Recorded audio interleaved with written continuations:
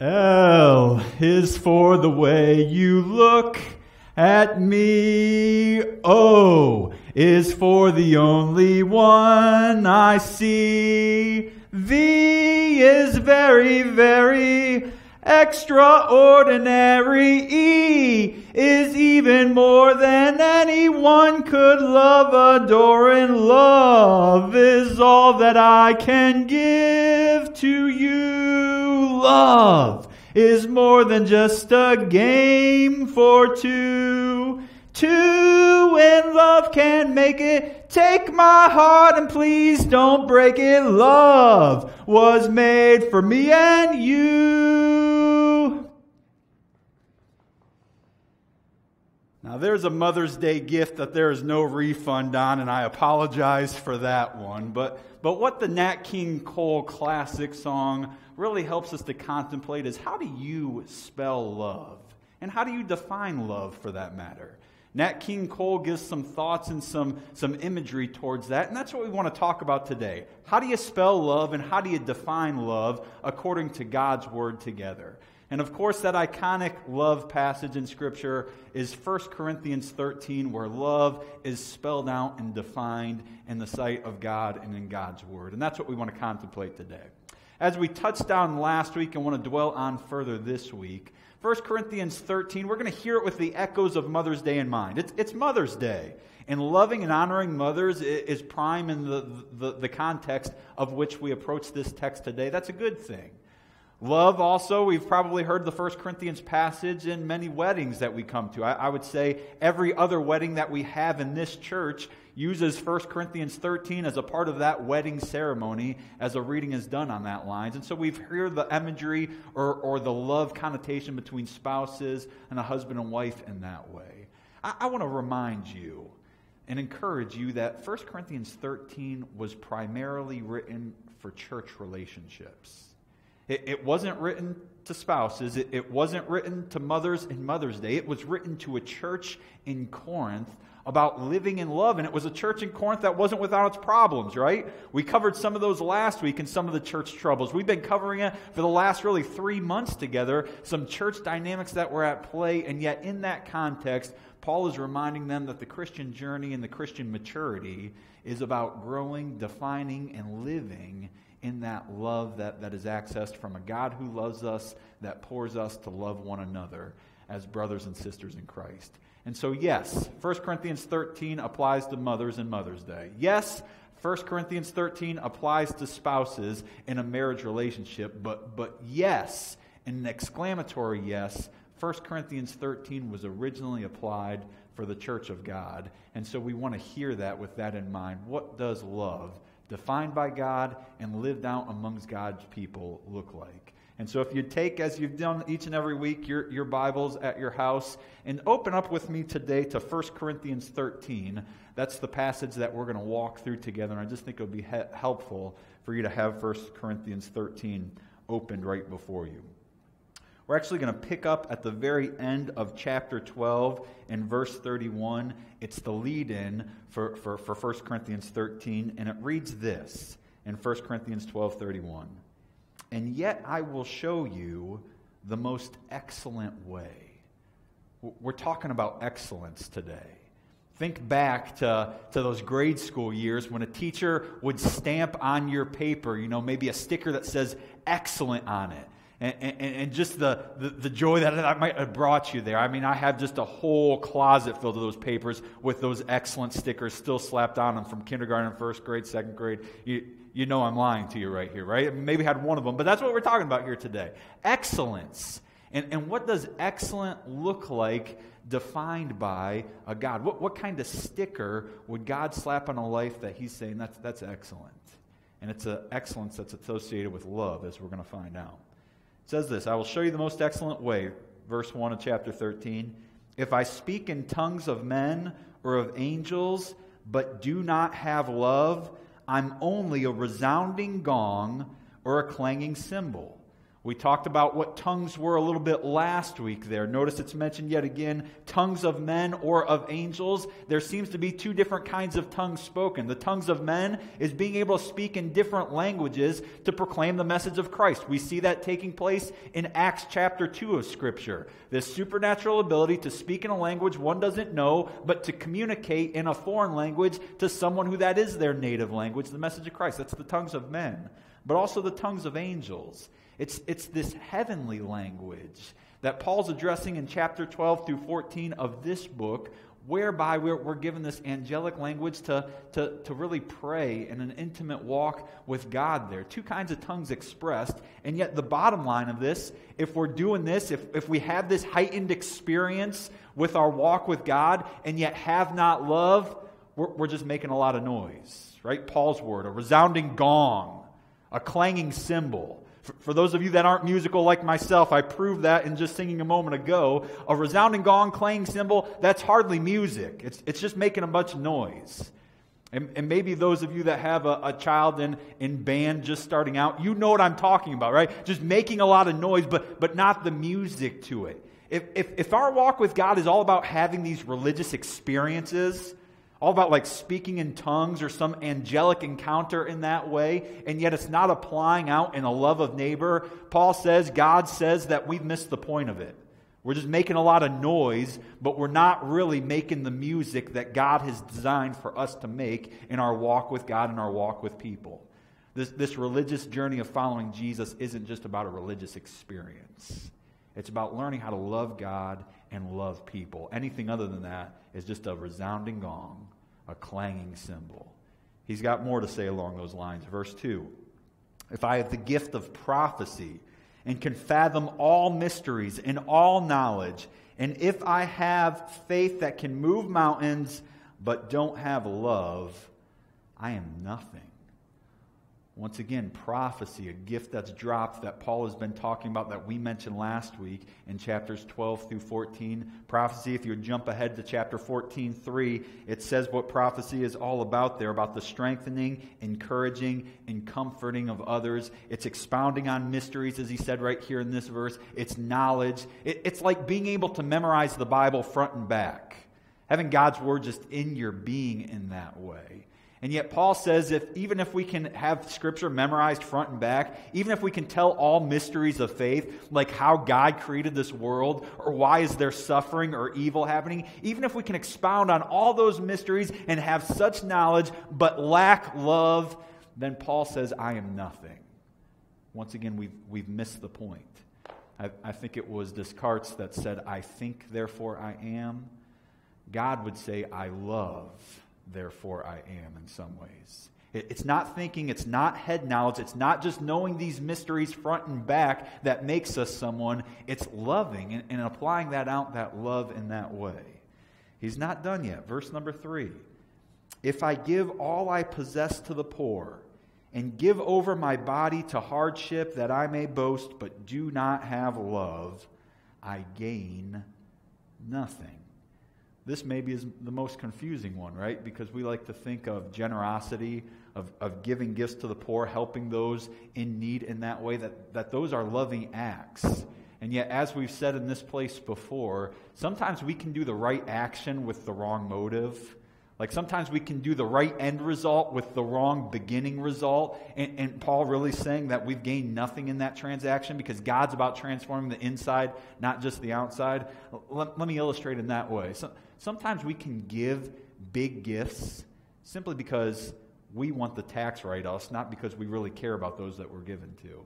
Sometimes, right, politicians are known for kissing babies, not because they really care for the kid, right, but because they know the camera is catching this move and there's votes on the line for them, and so they'll look caring on the outside when really they could care less about the kid that they're kissing. I, will give a personal one. Sometimes I'll read my kids a story at night And it's, it's really not because I care about their, their development or reading helping the mind in that way. Sometimes it's just because my knees hurt from wrestling on the floor, or I'm tired of being in that jumping gym and jungle gym inside the house there. And so I'll say, kids, I'll talk them into reading a book instead of wrestling on the ground there. Why? Because the knees hurt in that way. See, see, sometimes we can do the right outer thing, and if you walk through the door of the house, you think, man, that Justin, he's a pretty good dad. And really, it's, oh, I just don't want to be jumped on tonight in that way. You, you catching that? Sometimes we can miss the, we, sometimes we can miss the beginning for the end in that way.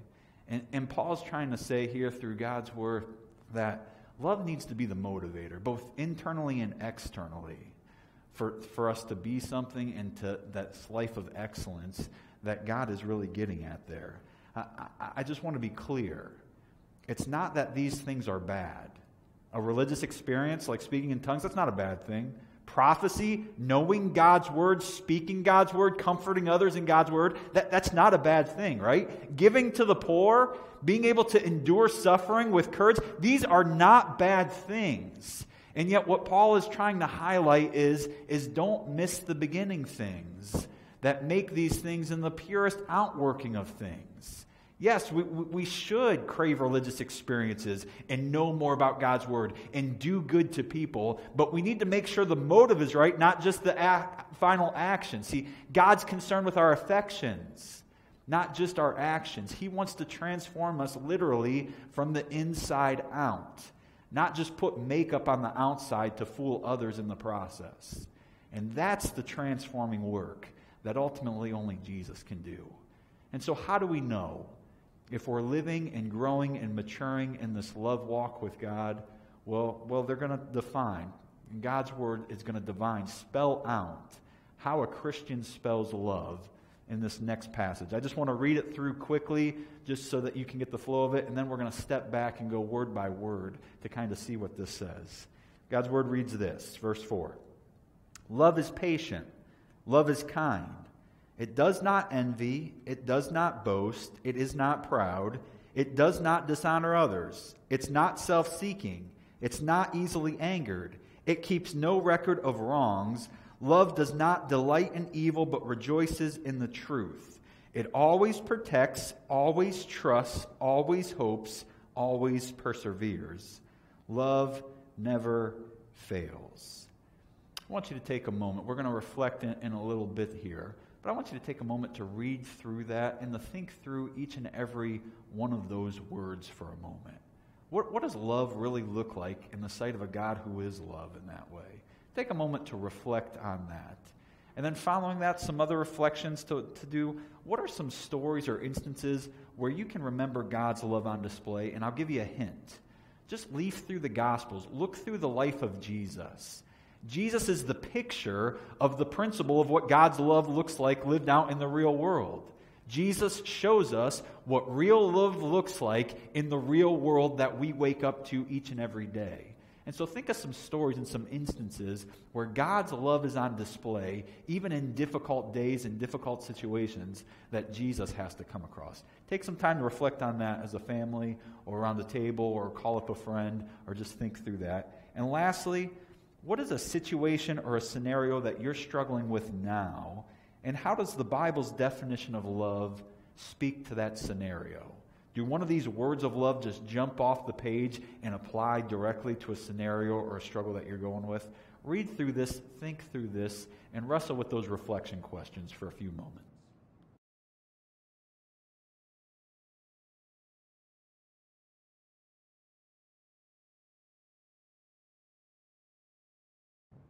Hopefully, you took some time to reflect on that love passage. I just want to read through it one more time, offer just a little picture there, and then continue to move on from there. But, but verse 4 love is patient. That means love takes time, right? Love can't be rushed. Love is patient. Love is kind. It means it's nice, it's respectful, it's aware of its tone, and doesn't slam doors in that way. Love is kind. It does not envy. It, it doesn't want what someone else has. It's, it's, not, it, it's not proud, but it's, it's grateful for what's one's given and not just greedy about getting what another has. It, it doesn't boast. It is not proudful.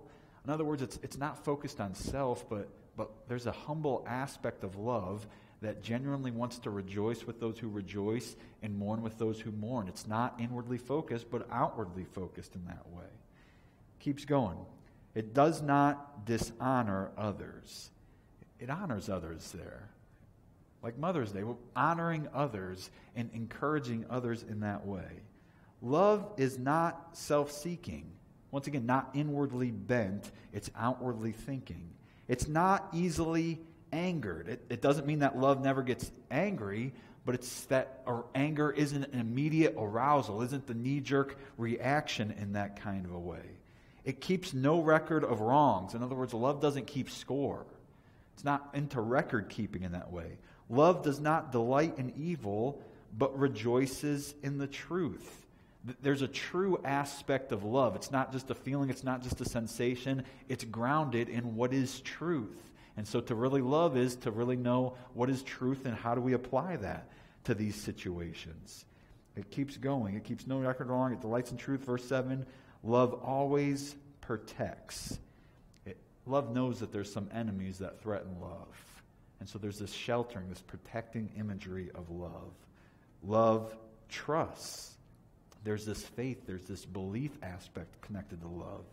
Love hopes. That means that love has a future, right? Love's looking forward and moving forward in that way. Love perseveres. It's a step by step, day by day, one step in front of the other kind of a perseverance in moving forward. Love never fails. That means that love has a victory story, right? And being caught up in this larger imagery of love in that way, it, it's a good thing and it's a thing to imply. That's how Scripture defines and declares love. We, we live in a world that wants to define love in many different ways, right? Hollywood has its own version of love and what love looks like. Human nature has a version of love and what it looks like. A contract, you know, you please me, I'll please you kind of a, a mentality. You scratch my back, I'll deal with you fairly then. If you don't deal with me fairly, then I'm not dealing with you fairly. God's Word defines love in this way of being patient and kind and long suffering and moving forward. Sounds good, right? But how in the world can that apply to, to my life, right? I think that's where the struggle meets the road. I would wholeheartedly agree with the Bible's definition of love, and yet where the rubber, rubber meets the road is love is patient. Then, then, then what do I do when I'm not patient, right? What do I do when the kids are jumping on the back or, or a kid talks back to me and I'm about to fly off the handle and go silverback gorilla on them? Love is patient, and yet you get thrust in these situations where you're trying your patience, right? Or love is kind then why is it so easy to, to fling back a sarcastic comment to my wife when it should be kindness that permeates that relationship, right? I, I agree with the definition of love, and yet the day in, day out is a struggle to love in this way. And so, what's the secret, and where does true love come from? Well, I think Paul's getting to that in the next section where this is growing up, a maturing process which we'll get into. But even before we get there, we need to be aware of the word that Paul uses for love. It's, it's agape.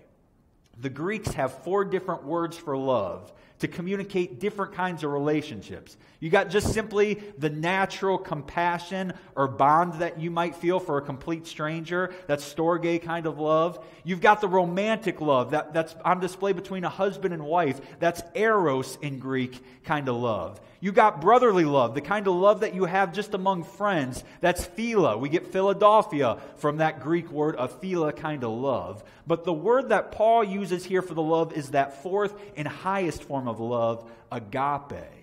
And it's a God love. It's, it's a love that comes from above. It's a love that originates ultimately only in God. And I, I think we get the thrust of that in 1 John chapter 4, where Paul drops what is agape love and how agape love transforms into our life. Let me just read it for you for a moment. 1 John chapter 4, picking up in verse 7, says this Dear friends, let us love one another, for love comes from God. How do we love patient? How do we love kindly? How do we love not keeping score and truthfully in all these ways that 1 Corinthians 13 calls us? Well, in order to get connected to that love, we've got to get connected to that God who is love. Love comes from God. Everyone who loves has been born of God and knows God. And, and I would add everyone that truly loves, right? We can put on the appearance or the facade of love, like those illustrations we used a moment ago, right? Of kissing babies but not really caring for the baby, just doing it for their care of self. That, that's not true love there. That's just the facade. That's just the makeup, the outer exterior of love. How do we get in tune with this love that's inward out? That's a motive, not just an action. That love ultimately comes only from the transforming work of God on a life. Everyone who loves has been born of God and knows God.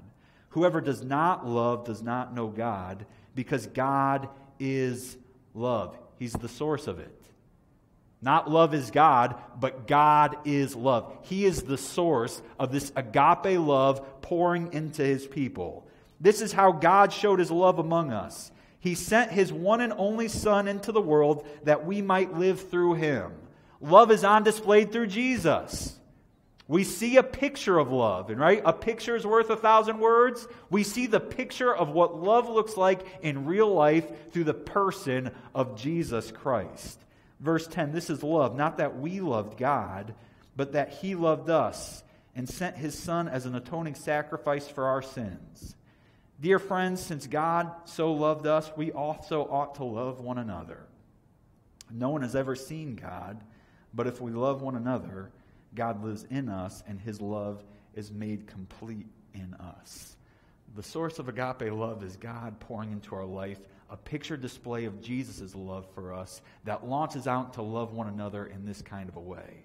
Will we do this perfectly? No.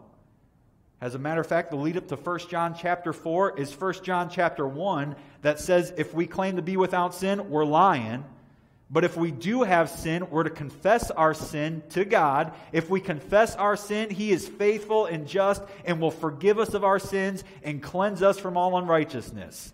God is saying you're going to mess up in this love sometimes.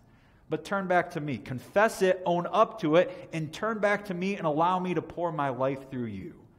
I, think maybe an illustration could be helpful. It's trite, it's generic there, but all I could think of in this pouring of God's love was a pitcher and a vessel here. If, if God is loved, if He is the source of love, He's the pitcher, and it's way more infinite than what this picture can display in this way, but we're the vessel, right? And what God wants to do in our life is to pour into us. Pour from above His love. Transform our life from the inside out and pour so much through us, right? That we are overflowing in love towards others. Now, now we can change that process, right? We can cut ourselves off from God's love pouring into us and just tip the cup so that there's no way for God to do it. That, that's what sin does in our life, right? It cuts us off from God allowing Himself to pour into us. And what we need to do in those instances is to turn our attention back heavenward. God, I've messed up. God, I've tripped up. God, I want to be your vessel for this world and for this witness. And God just keeps pouring. He is more gracious, more patient, more loving than we realize, and that we give him credit for in that way. And so praise God that God is love, the source of love that pours his love, that flows into a world where vessels are ready and waiting to receive him by faith. If, if that's a picture, if that's an illustration, this past week uh, found myself at the funeral of Jim McKenzie. Many of you know Jim, connected to Mike and Jackie Becks. And as a part of that funeral, I heard one of the grandsons of Jim share some family stories and, and just remembrance of who Grandpa was. And it was an illustration that spoke to me about love. This grandson of Jim remembers and recalls a day when Grandpa took him to an Akron Rubber Ducks game. And there was an encounter after the game with, with someone who seemed to be in a rough spot. And, and, and the, the grandson just remembers how Jim reacted to that. Jim just loved the guy. He, he, he, just took time with them. He listened to his story and helped meet to need in, in, in, that moment. But what the grandson said in reflecting on that is what most got to me. The grandson sons said something along the lines of, How do you love a complete stranger like that? I, I'm not sure I know how to love, but grandpa knew how to love in that kind of way. And it was just telling to me of, of Christian love on display in Grandpa's witness in that, that the grandson was contemplating in the wake of his death. How do you love a complete stranger like that? He was unsure himself, but he knew Grandpa knew, and Grandpa put that on display in a searing image that really spoke to that grandson, even young in life in that way. And, and I think Jim's secret was no secret, really. As, as he was laid to rest, in his casket, he was wearing a cross. He had a picture that had Jesus loves you written all over the cross that was in the casket with him, too. It was no secret. How Grandpa learned how to love was that he received the love of Jesus that just made him overflow in the love even of complete strangers they met after a baseball game and the way to their car in that way. it's a Christian picture. And, and as I'd say, it's, it, it's not it's not an instant fix. It's not meant to be easier than what it's sounding in this way, but it is a lifestyle of just posturing ourselves to let God's love pour in us and to pour through us because He's got more love than even this being can handle. It's got to be expressed outwards to a love of neighbor as well. And like I said, that's a process. Love is patient, means love takes time. It's a process of growing and maturing in that way. And I think that's what Paul gets at in his closing comments in 1 Corinthians 13. He goes through the maturation process of love. He says in verse number 8, Where there are prophecies, they will cease. Where there are tongues, they will be stilled. Where there is knowledge, it will pass away. For we know in part and we prophesy in part, but when completeness comes, what is in part disappears. I like these illustrations he throws in next of childhood and of mirrors in this way. In verse 11, when I was a child, I thought like a child, I, I, I, I, talked like a child, I thought like a child, I reasoned like a child. When I became a man, I put the ways of childhood behind me. I, I like that imagery in that way. when I was a child, I was afraid of what was lurking underneath the bed. Maybe you were too. I will tell you with supreme conviction, last night I went to bed and I didn't even look to see what was underneath my bed. I could just shut my eyes and sleep peacefully. I was not afraid of the monster lurking underneath. I put that childish way behind me when I became a man and got my own bed in my own house in that way. You catching me?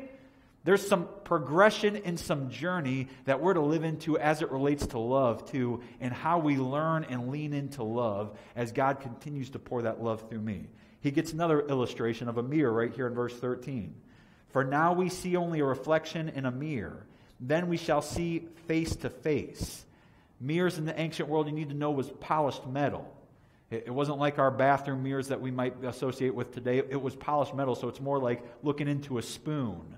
Try, try doing that and the distorted image that you might get in that kind of a way, and compared to the face to face, the clarity of a face to face conversation rather than a mirrored conversation talking into a spoon.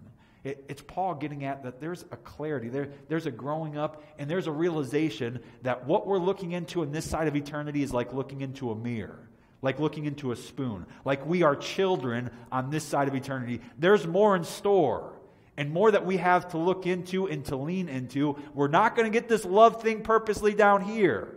And yet, continually, we're to polish that metal and to grow up like children into manhood and know what it looks like to receive and to give this love of God that continually pours into our life. It's the adventure of all of eternity, and it starts in the here and now that Paul is trying to impress to this church in Corinth. He closes in this way now I know in part, then I shall know fully, even as I am fully known. And now these three remain faith, hope, and love. But the greatest of these is love. We could trace out principles or sing another song in, the, in that kind of a way about what love is. But I think what we most really need to do in passages like these isn't to wrap our minds around it, right? Knowledge is in part, and knowledge isn't the end game. The end game is how to apply that into love. And so principles won't do, songs won't do in this instance, in this way. What I think we need to do is, is to put our vessel facing upward and to just allow God to pour into our life and our walk in love. And so we want to do that through a closing prayer together, where we're just going to pray about love And I invite you, there's going to be some pauses in this prayer time. It's going to be a little bit lengthier of a prayer. There'll be some pauses, and I just want to invite you to pray through some areas that maybe you're struggling to love, or how does love look like applied out to this difficult situation. Just tip your glass to allow God's infinite love to pour into that situation.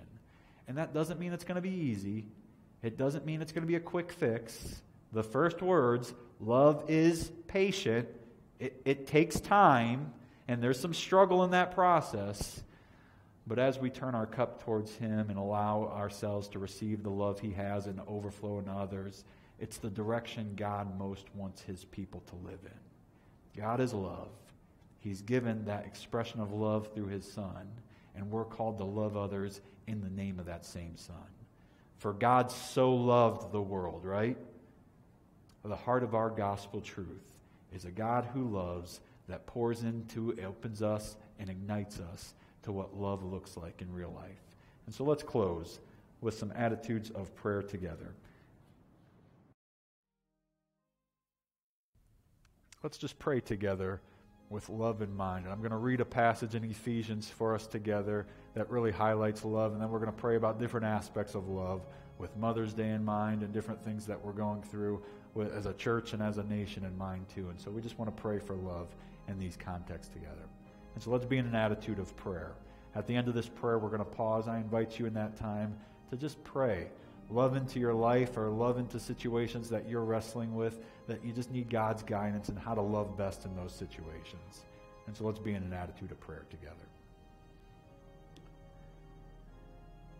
Dear Lord, I would pray over your people the words found in your word of Ephesians 3. Paul said to the church in Ephesus, I pray that you, being rooted and established in love, Lord, root your people and establish your people in love. May they have the power, together with all God's holy people, to grasp how wide and long and high and deep is the love of Christ. Lord, if we've never experienced that height, that width, that depth, that breadth of the love of Christ, Lord, may today be that day. May you just flood into our life, flood into our cup, flood into our being, Lord. How much that you truly have loved us that would propel you to go to the cross for us. Lord, thank you for that love of Christ and help us to live in the assurance of that love of Christ. Lord, I would pray that, that to know this love that surpasses knowledge, that we would be filled to the measure of all the fullness of God in this love. Lord, I pray for your fullness. I pray for your maturity. I pray for your growth and this love amongst your people. Lord, do that for us, we pray. Even as we contemplate what love looks like in 1 Corinthians 13, may you just pour that love into our life and through this life to love others in the love of Christ. Lord, I would pray a special love upon mothers today. It is Mother's Day. And Lord, I, I pray for today those longing mothers. Those that Mother's Day uh, just kind of twinges us the wrong way. It's, it's hard because Mother's Day reminds us maybe of miscarriages or of waiting for a man that, that never came or tears that may be shed as we just have dreamed of a different day that has not been. Lord, I just pray for those mothers today that just are struggling with this. I'm thinking of your, your, your, your woman in Scripture named Anna, who had a husband early in life who died early in life, and the rest of her life was as a widow. And yet, Lord, in Scripture, she wasn't known for her tears, but for her cheers because she literally beheld Jesus in some way, even in the midst of that loss. And we celebrate her still thousands of years later for that. Lord, I would just pray that we would behold Jesus, even in the midst of our loss at points, Lord, that we would behold Jesus and that he would, we would find our significance in him, in that Christ child, in a way that no other child could satisfy or would satisfy, even if we had a whole house filled with them. Lord, just meet us in that loving moment and love us through Jesus for longing mothers. Lord, I would pray for those young mothers, the many that make up this church in those impressionable ages that they have of their kids. Lord, I, I, I pray for, for those days that feel long and those years that feel short. Give us wisdom and help us to make the moment of these days that you have given us with our kids. Lord, help us with these little sponges to truly soak them and saturate them in a life of significance, a, a life of spiritual depth, a life that will go on to echo into eternity. And help show us, Lord, how to make decisions in these everyday moments, Lord, that really are going to set them up for success, not only in this life, but, Lord, for eternal life. I just pray for the young mothers of this church, Lord, that you would give them strength and courage and wherewithal to take the steps in that direction with these days being long and these years being short in mind. Lord, I would pray for adult mothers. Many of those mothers may be feeling the crunch today. Maybe they're caring for aging mothers or, or fathers, and maybe they have care of, of kids that have flown the nest in that way, and yet still very much are dependent in some way upon mom and dad. I, I would just pray for those adult mothers in mind. Lord, help them in the midst of their setting to navigate some end of life issues with their parents and how to set up their kids to be successful apart from the everydayness of, of their mothering under their influence. Lord, just, just give us a unique and needed wisdom for this new season of life that our aging mothers are in, Lord, and help us to navigate this terrain. Help us to love in the midst of that setting. Lord, I pray for love for your church. 1 Corinthians 13 was written predominantly for your church in mind, Lord. And so I just pray for your church and that you would teach us and help us to define love according to your word and how to apply love rightly in the midst of that context. Lord, one thing that is often in the context of your church, predominantly here in the West and here in America, is how do we navigate lovingly this issue of human sexuality? I know the Methodist Church is debating that and, and, and, deciding that in a general conference upcoming in this way. And Lord, there's this aspect of love that love is kind. And there's a camp that wants to trumpet it, that aspect that love is kind. And then, the Lord, that your word tells us that love is truth. And there's a camp that wants to trumpet and just camp out in that love is truth. And yet, the reality of it is that love is both kind and truthful and that we're called to live in this paradox of kindness and truthfulness, even as it relates to human sexuality. And Lord, those lines aren't easily drawn. And so I just pray for your help as a church as we try to navigate these waters and to live as a witness in the midst of this issue. Lord, help us, help lead us, help love through us with this issue. And Lord, it's not just an issue for the church, it's an issue for, for, for parents, some who have children Lord, it's an issue for siblings, some who have a brother or sister with this in mind. Lord, it's, it's not just a headline issue, it really is a home issue, a heart issue, an everyday issue. And we just need your help in how to love through this issue that rightly witnesses who you are and what you're up to in these lives. Lord, I'd pray for the headline issue that, that really just came into fruition this week and the events down in Georgia that took place back in February. I'm talking about Ahmaud Arbery. Lord, it's just a reminder once again that, that there is hatred, that there is racism, that there is bigotry. There's the opposite of love. That is a reality news story, headline story, not just a news story, personal story that many wake up to each and every day. Lord, I would just pray for love in these aspects and justice in these aspects. And Lord, it touches on so many hotbed issues too, Lord. It's going to turn into a political thing. It's going to turn into all these different headline news, and yet the reality is, is this is a love issue. How do we love people, Lord, across races, across classes, across economic divides, across all these lines, Lord? How do we love people? And help us as a church, Lord. Help me as a white pastor and what role do we play in all of this, Lord? What does love look like reaching out to these issues? Help us to be love in the midst of real tragedy. And Lord, I would just pray for Arbery's mother too.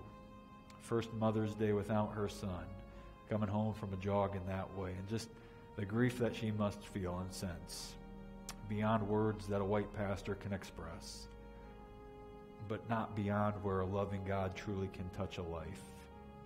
And so I would just pray for your love to be unleashed in this situation and real lives really impacted by, by the horror of these events and these headline news. Lord, there's a million and one other ways that we need love, both personally and politically, and as a nation and as a world in that way.